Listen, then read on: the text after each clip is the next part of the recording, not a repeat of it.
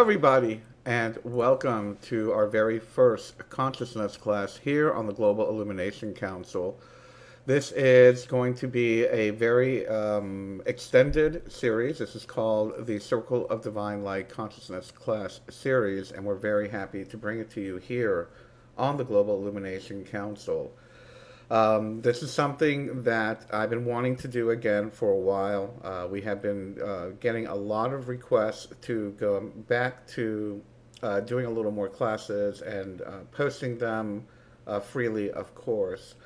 What I'm going to do with uh, all of you this evening, thank you all for joining us, is we are going to talk a little bit about what are the consciousness classes? What are you going to what are you going to experience? Where are we going with this? And what we're going to do is we're going to take a short break after the introduction and we'll come back and start our very first uh, class, which is going to be an introduction to quantum meditation. Uh, for those of you that know my work, we do a lot of quantum meditation and have for many years. And I find that it's a very easy way of going and getting into a meditative and trance state. So, without further ado, let's talk a little bit about uh, consciousness classes. What are you going to be? What are you going to be experiencing? Um, where are we going with this? What can you expect from us uh, as uh, the GIC and myself as Bernard Alvarez? Well, first of all, I want to let you know that we are going to be doing this class every Tuesday at 5 p.m. at this time. If you are watching us live, know that you will we will be here live every Tuesday at 5 p.m. The classes will be anywhere from 30 minutes to 2 hours, uh, depending on the subject matter, depending on the interaction of the viewers I know that many of you may be watching this uh, on YouTube or on DVD, and um, I'm sorry you can't interact with us live at this point, but eventually technology will help us with that. But until then, uh, let me be uh, very clear that the only ones that can really interact uh, with me or with the instructor of the day are going to be the members uh, of the uh, Global Illumination Council, and it'll be done through chat. So what I'm going to ask now for everybody, I see a little interaction going on right now, is um, instead of asking everybody not to interact on the chat, what I'd like to suggest to everyone watching this live on the on the uh, on GIC TV as it's happening, if you have a question, all you have to do is click on the icon that says the GIC.org and click Start Private Chat. That will be able to send a, a question directly to me and or the instructor of the day. So if you are watching this live and you want to be interactive, you want to ask questions, get more detail as to the subject matter that we're discussing during these classes, I'm going to ask you to please click on the GIC.org um, icon there in the chat where it says Members Online on the bottom right and it should say start private chat. And so when you do have a question or need someone to expand a little bit on the subject matter, please do so that way. It'll make it a lot easier and it gives us the opportunity to allow the uh, the main chat to continue and let everybody interact and say hi and, and have side discussions, which is fine. So as you are as you are going to be participating in these classes, it's very helpful to have a notebook. Uh, I know that many of you may have already uh, uh, started your spiritual notebook, your diary, your journal. Uh, for those of you involved in Wicca or paganism, you might have your Book of Shadows, and that's wonderful. By all means, um, the only thing I do ask is that take down notes. And what I mean by taking down notes, notes means scribbling a topic and going back and filling in the rest if you hear a sentence and you're busy writing, you know, an 18 word sentence, you're going to miss what's being said. So make sure you take like, you know, a 3 to 10 word note and leave it at that. You can always go back to it and expand on it. But by all means, you know, grab a notebook and make sure that you get to highlight um, your topics as well for those of us um, here live and are that are members of the GIC, you are you have the ability to join the Global Illumination. I'm sorry, the Circle of Divine Light series group here, and you can post your question after the classes, and have a discussion with your fellow classmates to get a little bit more expansion on the particular topic. What we're trying to do here, even though this is very casual, even though this is uh, going to be a lot of information I want to make sure that everyone has the ability to, to follow through and get a little more, a little more advice, a little more direction. Uh, I personally will not be able to join. On occasion, I will join the uh, the Circle of Divine Light Consciousness um, discussions, but uh, my job is here right now with you and talking to you live and answering your questions live.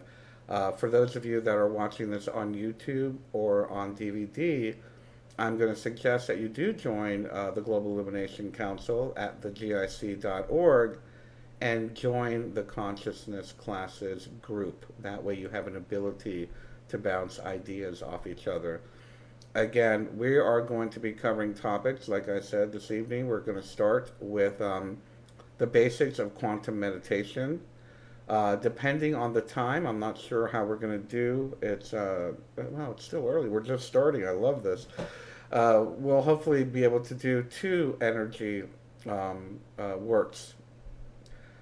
As well, I want to remind everybody that um, you know we are going to be covering topics in a non-denominational stance. I have no intention of turning this into a Druid circle or a Wicca circle or a pagan circle.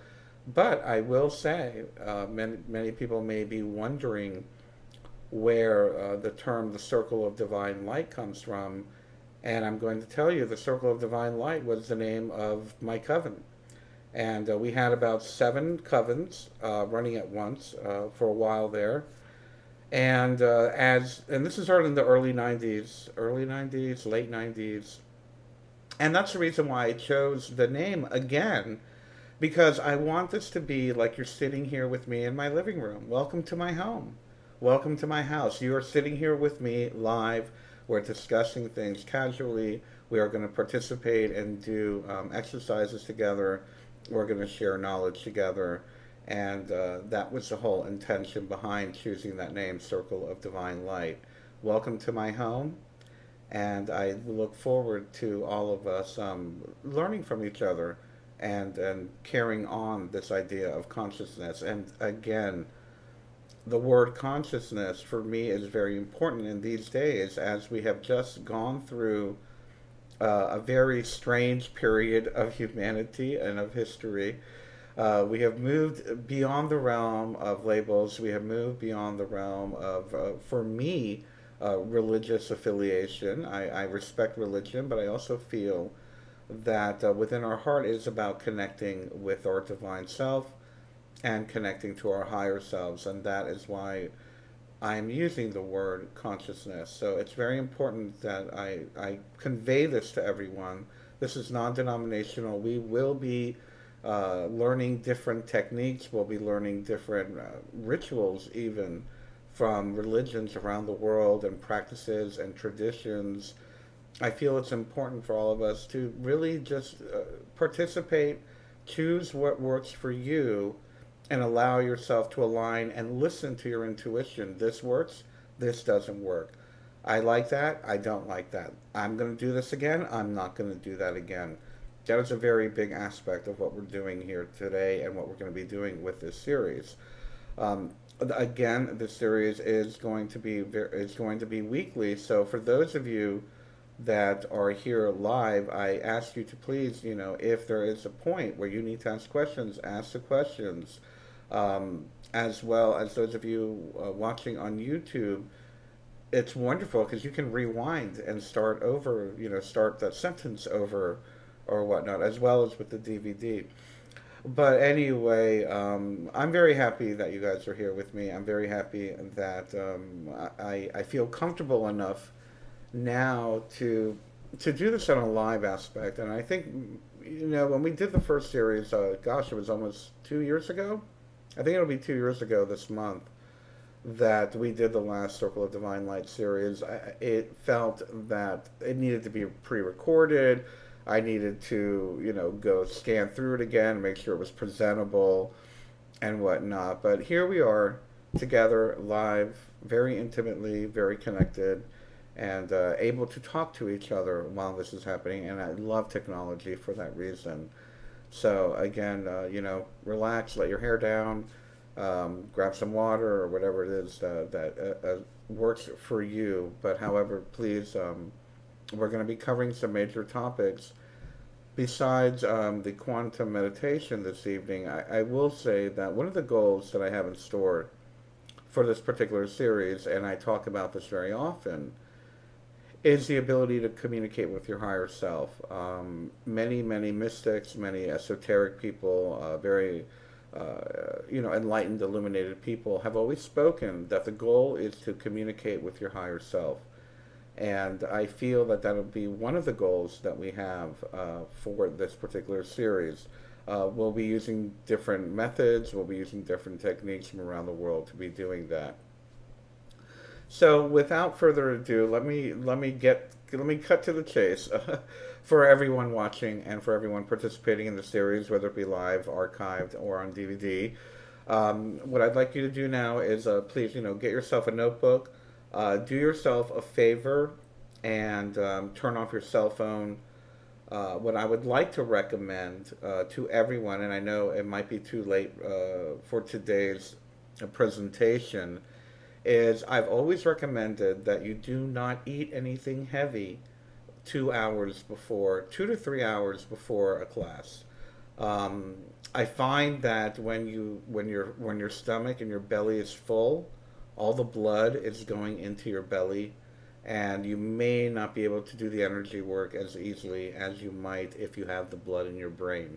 Remember, we're talking about consciousness.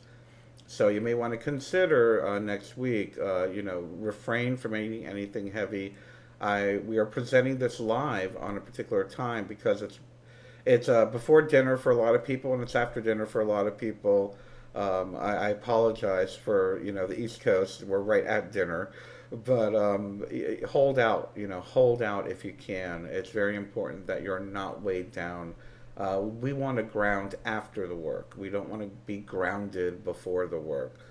So that'll be my first suggestion to you as well, um, when you are preparing to participate in these classes, I would suggest um, washing up a little bit. And what I mean by that, and, and not to get too ceremonial or get too traditional, but acknowledge the fact you're about to participate in something that is dealing with your higher self, that is dealing with your spirit, even if that means washing your hands and your face. Um, some people go as far as taking a ritual bath. Some people go as far as uh, changing their clothes, whatever it is that works for you, know that you're going into a place that is not necessarily of the norm, of the day to day grind. You want to give it some type of precedence, you want to give it some type of acknowledgement, even on a subconscious level, that you are moving into a place of spirituality, and a place of energetic realms. So, I understand that a lot of people find tradition to be silly, but I know that many of us don't. And that is a tradition that is uh, used throughout the world. So if you have the opportunity um, every week, wash your hands, wash your face, you know, put a little patchouli oil on your wrist, whatever works for you. Put on your pagan robes if you have them. Why not?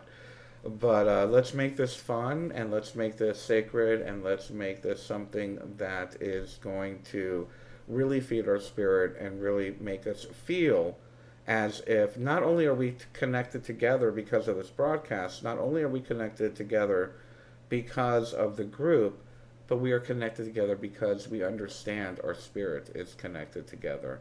And that's what it comes down to last but not least, I just want to let everybody know that um, uh, I, I, just want to remind everyone that is participating in the live uh, the live version of this class. Please only post personal chat to me uh, as a question. Um, I, I don't want to get caught up. I'm watching everybody uh, speaking on the chat, and I think it's wonderful. But please don't chat with me with during the the series. It's very distracting. Please be very to the point. Uh, say what you need to know. What do I need to know? Let's say I just did, um, or I just shared something on what is quantum meditation, and you're like, well, I don't get that. Can you expand on that? Please keep it one line. Uh, I'm not here to chat with you. I'm here to, to, to, to educate you at this point. We can always chat uh, when I'm when I'm not doing this, and I'm on I'm on the network. So by all means, uh, please keep your questions focused and direct and to the point. Okay, I really appreciate that. Thank you. Anyway, um, we are.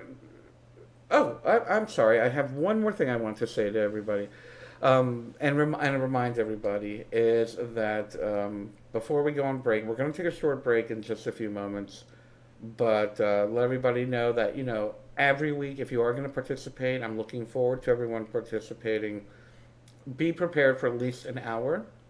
Uh, give yourself the flexibility of two hours uh, we will be doing it every week at this particular time.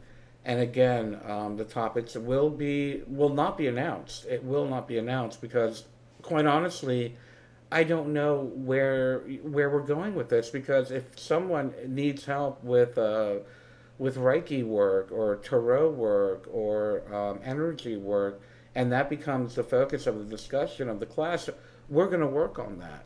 So you need to also tell me what it is that you're lacking, what it is that you would like to see uh, during this series. Uh, for you know, many of you know pretty much who I am, what I've been doing, but I guess this is the point where I need to introduce myself. I hate doing that. We don't have a an announcer to do that for me tonight.